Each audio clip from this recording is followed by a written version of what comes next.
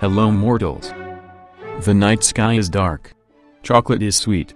Your friendship circles will shrink with time. These are all facts that constitute our reality. Better said, your reality. A reality that is actually not really real, as you'll soon see. Take this apple, red. Solid. Crunchy. Except this is not the real apple, this is the human brain apple. Show it to some alien with a different visible spectrum, and you get this. The alien brain apple. And maybe the alien has razor sharp teeth, and when they bite into the apple, it doesn't make that crunchy sound at all. The point is, both the human and the alien apples are different interpretations of the same object, the real apple. And if you remove any observers and their subjective perspectives, how would this objective apple look like? And this applies to the entire universe. Anything that you see, hear, and feel, is just your subjective interpretation of the objective reality. Although a bit different, Plato's theory of forms claims there is a non-physical perfect form of every object, of which the real objects are mere interpretations.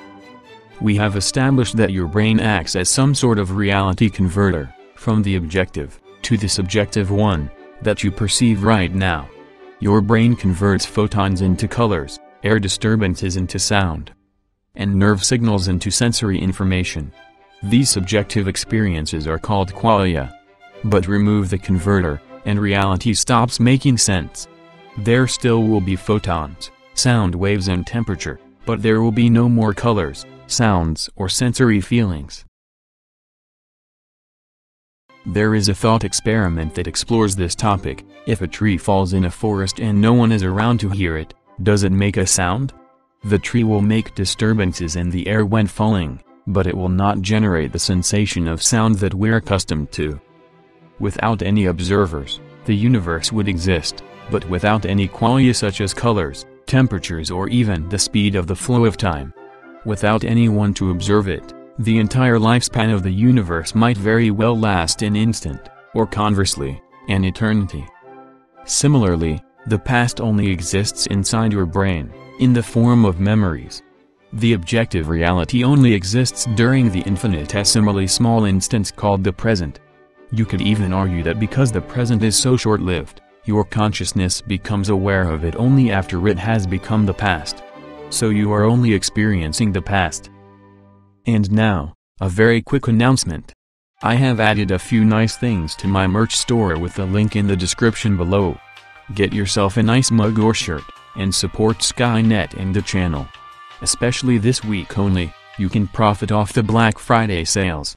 Now back to the topic. Remember that red apple? What if your red isn't the same as someone else's red? You could have both lived your entire lives agreeing on the colors, even though you could have had different qualia in regards to that. How do you know that my voice generates the same sound inside your head that it would in someone else's? That cannot be proven. So let's just pretend that our subjective realities are the same for the sake of our sanity. Oh, and how about this? How do you know that anything outside of your perceptions inside your brain is real? What if all these qualia are artificially simulated and in reality, you are just a consciousness trapped inside a laboratory. I know this is very relieving to hear, but there's nothing we can do to prove or disprove it. However, the Occam's razor rule tells us that the simplest explanation is probably the correct one, and a trapped consciousness is a lot more complex of an explanation than just simply having real experiences. But in the end, the one and only thing that you can be sure of is that your consciousness exists. If you can doubt your existence, you have to exist in order to doubt it. As Rene Descartes said, I think, therefore I am. And check Sciencephile's merch store.